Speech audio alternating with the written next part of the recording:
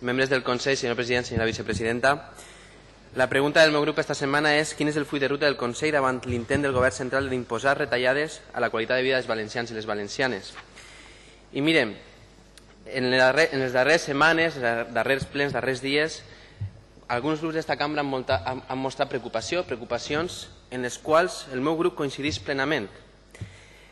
I és que estic preocupat i crec que és el moment de dir-ho clarament.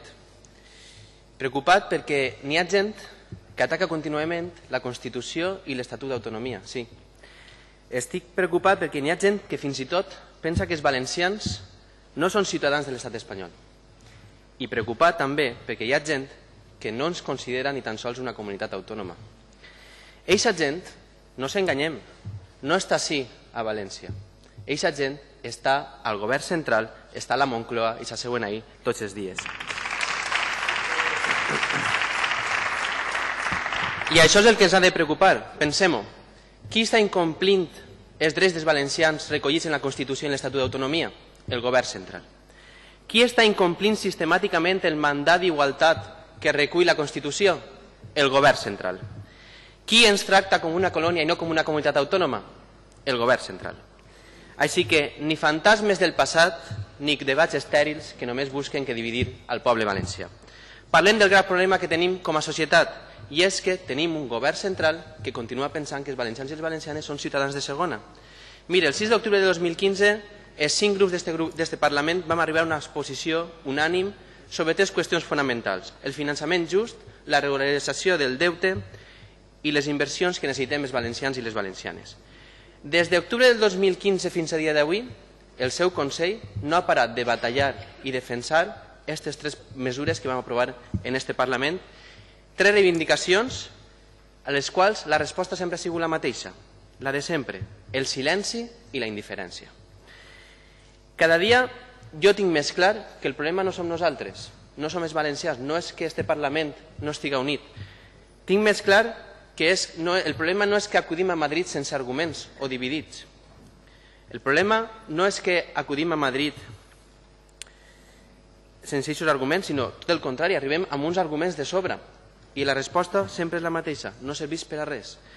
No, el problema no és que acudim a Madrid dividits, de fet anem tots els grups junts per a defensar determinades matèries i això no serveix per a res. El problema és que som invisibles per als que manen i aquests que manen ens estan portant a una situació d'emergència. Ens donen més diners des que, des que ens toquen, des que ens pertoquen. I això genera un problema d'ingressos. I aquest problema d'ingressos fa que incomplim el dèficit que el mateix Ministeri que no ens dona recursos ens imposa. Com no complim per la falta d'ingressos, ens exigeixen retallades que solen anar a educació, a sanitat i a serveis socials. I si no, aquest mateix ministre ens amenaça en que no ens donarà el, el següent fla. I això, senyor president, és una situació més que injusta. Això és un xantatge inassumible, és un xantatge inacceptable.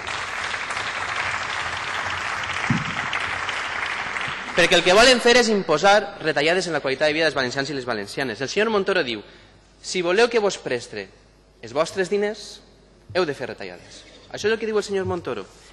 Pues bé, haurem de dir-li al senyor Montoro que els valencians no formarem part d'aquest joc de trileros. Haurem de dir-li al senyor Rajoy que no podrà doblegar a un govern que té a tota la societat valenciana al seu costat. És molt senzill, ho direm tantes vegades com, siga, com faci falta. Els valencianistes no hem vingut a este món a acceptar el xantatge d'un ministre com el senyor Montoro. No hem vingut a este món a sacrificar la qualitat de vida dels valencians i les valencianes. Hem vingut a este món a millorar la qualitat de vida dels, dels valencians. Hem vingut, i ho farem, per damunt de ministres sectaris, de governs insolidaris i de lleis injustes. Senyor president, no ens podem quedar de braços creuats davant d'aquest atac a la nostra autonomia i a la qualitat de vida de la gent.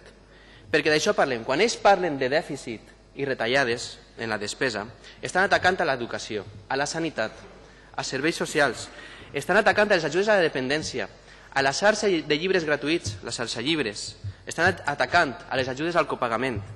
En definitiva, estan atacant a les mesures per a rescatar persones.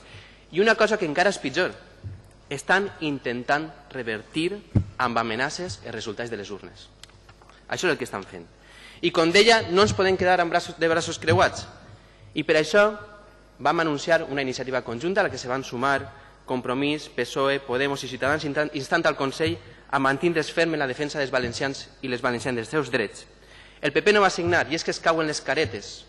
Volen governar a través d'un ministre com el senyor Montoro perquè saben que a través de les urnes ho tenen molt difícil, però no ens podem quedar ahí. Senyor president, li propose des del grup parlamentari Compromís que si el senyor Montoro no canvia d'actitud en els propers dies, celebrem un ple monogràfic sobre la qüestió tan important com aquesta. Proposem que envien una comunicació, que la debatem i que els grups es posicionen.